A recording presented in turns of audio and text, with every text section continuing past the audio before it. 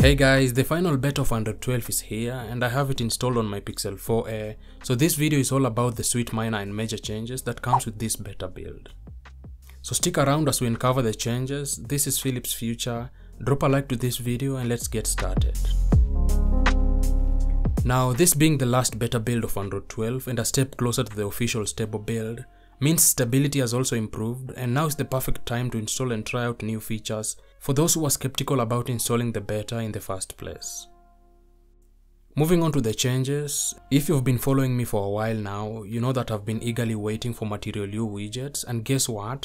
They're finally here. When you press and hold on the home screen, the widgets picker pops up like always or you can just press and hold the clock icon and select the widgets option to take you to the widgets page.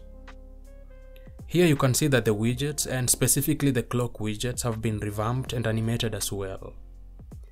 Here is a comparison of the widgets from the previous beta build against this new one and I must say that this looks gorgeous. Hopping onto the clock app you can see that Material You dynamic theming system is adopted here and it looks beautiful having this new Material You design. So when we change a wallpaper or the color theme you can see that the accent colors shift to the one that we've just selected and this affects the clock widgets too. Another app that has adopted Material You theming system is the Calculator app. It's beautiful. There's also a new widget under Android S Easter egg, and this can only be unlocked after setting the Android 12 Easter egg to 12 o'clock. Once you've done that, the widget will basically show you all the color codes generated by Android 12 theme engine based on your wallpaper. This is more of a developer's than a consumer feature, so I'll just tuck it away. The lock screen has also received some minor tweaks, first one being the padding on clock text have been slightly increased and the widget has been pushed down by a few pixels. Here's a comparison so you can tell what I'm talking about. Secondly, the notifications now appear a little bit lower than they were before on beta 4. As I said, these are minor tweaks but noticeable. Moving on to the app drawer, we get this new feature that lets you search for anything in your phone and Google calls it universal search. As the name suggests, you can look up for anything, be it a setting, shortcut, contact, app, or even a pixel tip. Now, this is something that iOS has had for a very long time, but it's great that Google has finally added it to Android.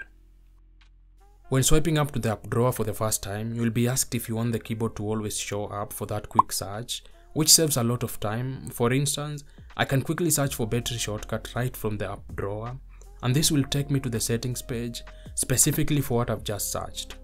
This is really handy. Other changes in this build include updated security patch to September 5th, 2021, and just in the settings page under privacy, you will see a settings named private compute core, and this is renamed from device personalization services. In here you can turn off or on keyboard suggestions and other features that use device machine learning like smart replies. I'll keep that toggled on because I heavily rely on smart replies. This is a minimal one, but on the notification shade, the network connection icon shows an exclamation mark instead of an X where there is no cellular data connection. Those are some of the major changes that I've experienced so far, but if you think I've left any, then drop a comment down below and I'll be sure to pin it.